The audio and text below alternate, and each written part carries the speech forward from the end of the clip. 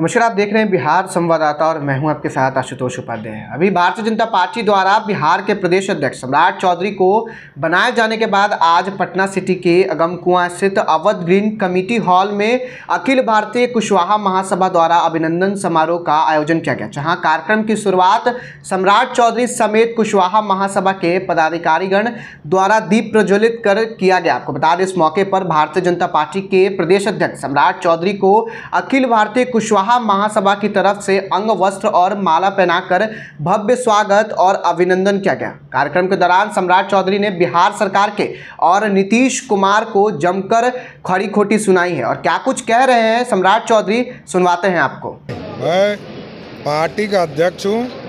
Party को शीर्ष पे खड़ा करना है। पार्टी की सरकार बनानी है। इसका दायित्व तो है उसका तो हमारे नेतृत्व तय करते हैं। यहाँ नीतीश कुमार जब मुख्यमंत्री नहीं हुए थे, तब मैं मंत्री हो गया था। नीतीश बाबू को याद नहीं है। मेमोरी लास्ट वाले मुख्यमंत्री हैं। उनको याद करा दीजिए कि जब नीतीश कुमार जी मुख्यमंत्री नहीं बने थे उसके पहले मैं मंत्री था। नहीं नहीं, ये पूरे बिहार के लोग हैं।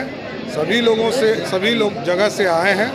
और ये पूरा स्पष्ट है। अब कोई लव कुछ समाज अब नीतीश कुमार की तरफ़ नहीं देखने वाला। तो अभी आपने सुना किस प्रकार से नीतीश कुमार पर तंज कसते हुए कहा है कि नीतीश कुमार मतलब मेमोरी लॉस वाले मुख्यमंत्री हैं। उन्हें याद नहीं है कि जब वह मुख्यमंत्री नहीं थे, तब मैं मंत्री हो गया था। नीतीश बाबू को याद नहीं है, याद दिला दीजिए। फ़िलहाल ऐसी तमाम खबरों से अपडेट रहने के लिए आप देखते रहें बिहार संवाददाता और चैनल पर नए हैं तो चैनल को सब्सक्राइब करना ना भूलें और हमारे फेसबुक पेज को लाइक ज़रूर करें। धन्यवाद।